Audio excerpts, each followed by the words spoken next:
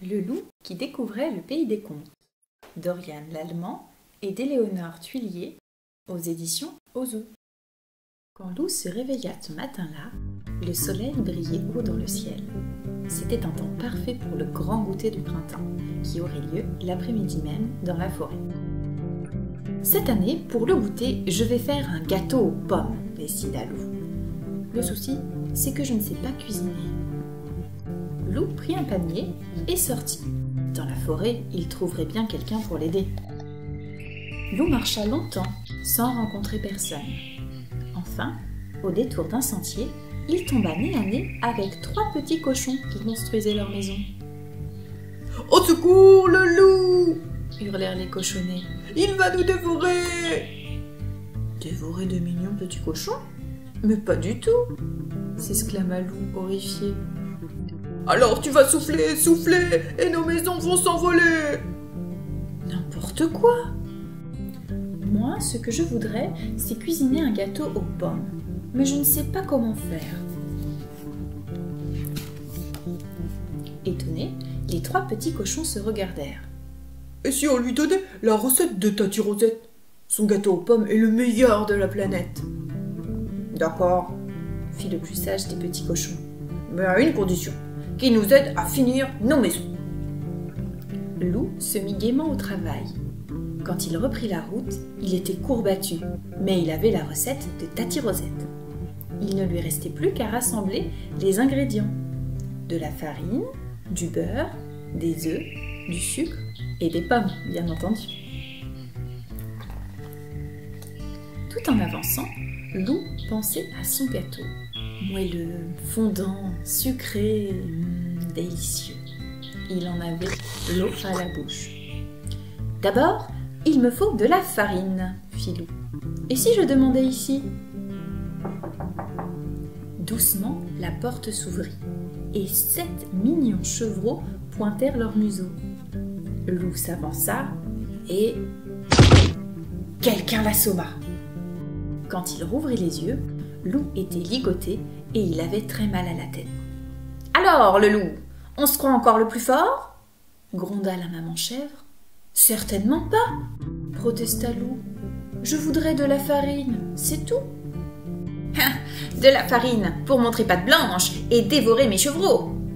Euh, non, bredouilla Lou. De la farine pour faire un gâteau. Par chance, la chèvre adorait cuisiner. En échange de la recette de Tati Rosette, elle donna à Lou de la farine. Et hop, le jeta dehors. Lou reprit son chemin en grommelant. Il ne pensait pas que faire un gâteau serait aussi compliqué. Il bougonnait encore lorsqu'il entendit quelqu'un chanter. C'était une petite fille, tout de rouge vêtue, qui cueillait des fleurs. Hé toi Je te connais cria la petite fille. Tu es le loup Lou soupira. Voilà que cela recommençait. N'aie pas peur, je ne vais pas te dévorer, fit-il de sa voix la plus douce.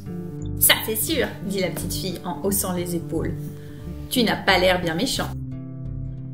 Soulagé, Lou s'assit dans l'herbe auprès du petit chaperon rouge et tandis qu'il partageait un morceau de galette, il lui parla de la recette de Tati Rosette. Si tu joues avec moi, je te donnerai mon petit pot de beurre pour ton gâteau, lui proposa la fillette.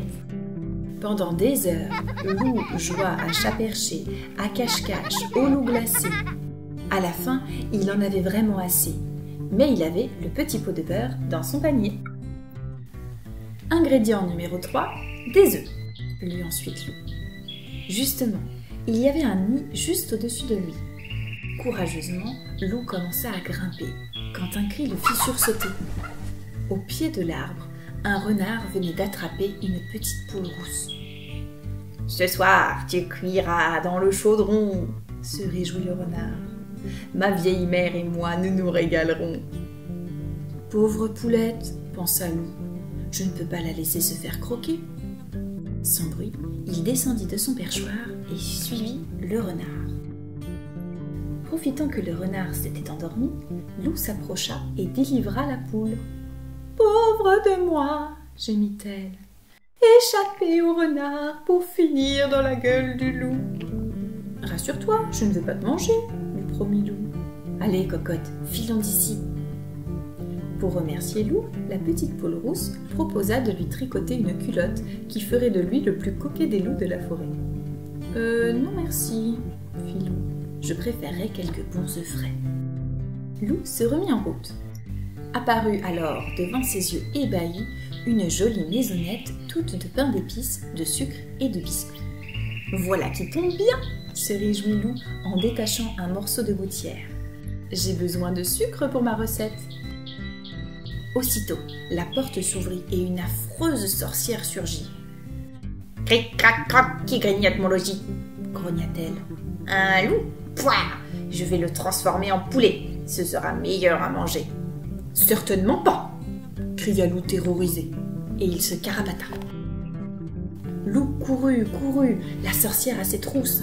À bout de souffle, il arriva devant une chaumière et s'y engouffra. Bonjour mon ami, le salua Blanche-Neige. Qui te poursuit? Une sorcière paniqua Loup. Elle veut me transformer en poulet. N'aie crainte, elle ne te trouvera pas ici.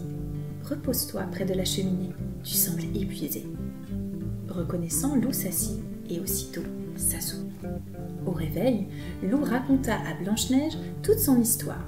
Le goûter, la recette de Tati Rosette et toutes ces choses bizarres qui lui étaient arrivées. C'est parce que tu es dans la forêt des contes, lui expliqua la jeune fille. D'ailleurs, voici de belles pommes pour ton gâteau. Loup regarda les magnifiques pommes rouges avec inquiétude. Promis, la méchante reine ne les a pas touchées, rit Blanche-Neige. Loup la remercia, rassurée. Blanche-Neige conduisit alors Loup devant son miroir. Miroir, mon beau miroir, dis-moi qui est le plus chou des loups. C'est Loup le plus chou, fit le miroir amusé. Et si on le gardait avec nous? Non, cher miroir, répondit Blanche-Neige. Renvoie-le vite dans sa forêt. Mais avant? Et Blanche-Neige déposa un doux baiser sur le museau de loup, qui se sentit rougir, partir, rougir, partir. Loup secoua la tête, tout étourdi. Il était de retour chez lui. À ses pieds, son panier était bien rempli. Youpi, j'ai tout ce qu'il faut pour préparer mon gâteau. Vite au fourneau. Dans sa cuisine, Lou suivit à la lettre la recette de Tati Rosette.